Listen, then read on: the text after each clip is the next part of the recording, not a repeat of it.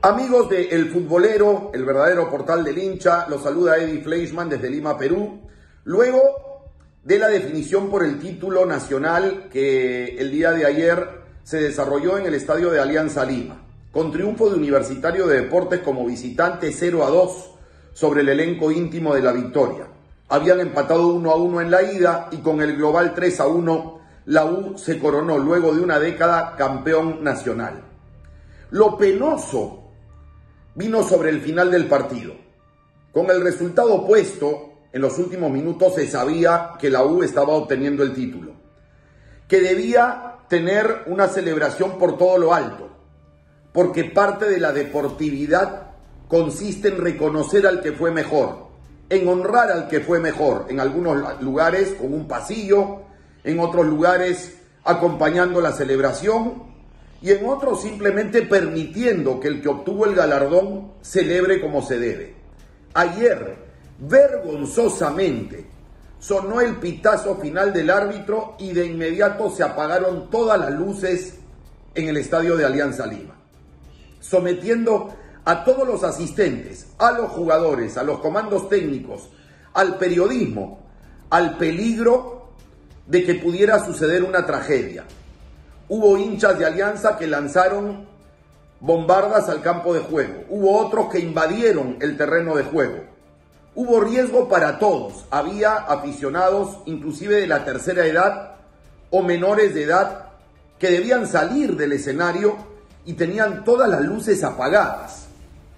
En el Perú existe y pueda ser este caso probablemente un ejemplo de delito por exposición al riesgo.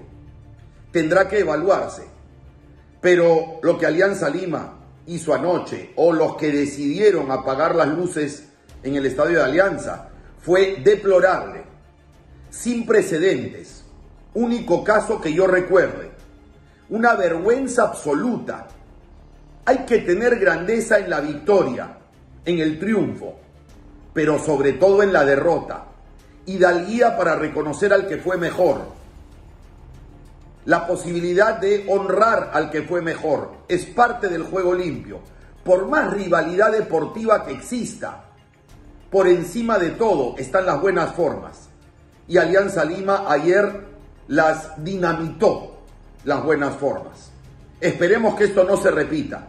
Ha habido muchos hinchas de Alianza Lima protestando a través de las redes sociales y deplorando la decisión tomada, reconociendo que se hizo muy mal, reconociendo que Universitario ganó bien la definición.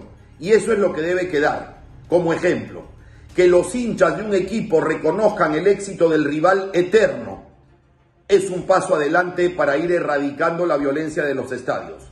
Pero ayer, definitivamente en ese camino, Alianza Lima se portó muy mal. Y deberían venir sanciones para el escenario y para los directivos que tomaron la decisión o dieron la indicación de que eso se hiciera así. Realmente lamentable. No se pierdan otros episodios y otras participaciones y otros comentarios en el futbolero, el verdadero portal del hincha.